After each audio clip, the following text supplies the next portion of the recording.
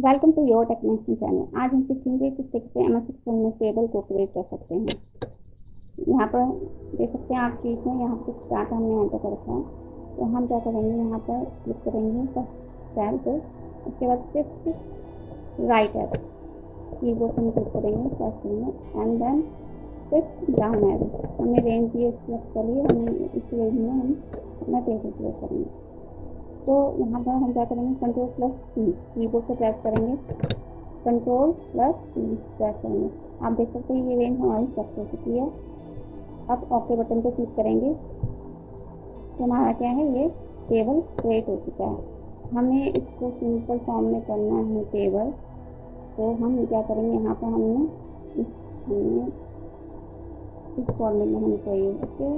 अब ये देखो आप हैंडल हटा लिया हमने बैंड हटा लिया हमने ध्यान देख सकते हो इजीली हमारा टेबल हो जाएगा ओके, इसके बाद हम फिंगर क्लिक करेंगे यहाँ पर आप देख सकते हो क्लिक किया अंदर हमें इसको हमें कलर देना है। तो हम इसको कलर अपने अकॉर्डिंग दे देंगे ओके, ये हम ले लिया है क्लिक करेंगे, हमें बोल करना है तो बोल कर सकते हैं। चाहे जगह में किसी चीज़ का लेना है तो यहाँ पर हम दे सकते हैं हम दे सकते हैं ये हमारा थोड़ा सा प्रॉब्लम ले रहा है।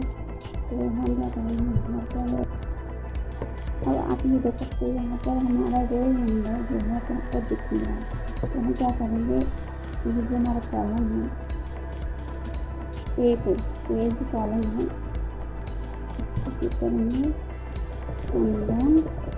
करेंगे इसके लिए जैसे यहाँ पर हमने यहाँ पर हमने उसके बाद यहाँ पर आप देख सकते ए और बी के बीच में एक लाइन देते हो आप यहाँ पर देखिए आप साइन चेंज हो रहा है और होगा यहाँ पर हम क्या करेंगे डबल क्लिक करेंगे तो क्या होगा हमारे जो भी जितनी भी साइन है वो एडजस्ट हो जाएँगे अपने डाटा के कारण ठीक है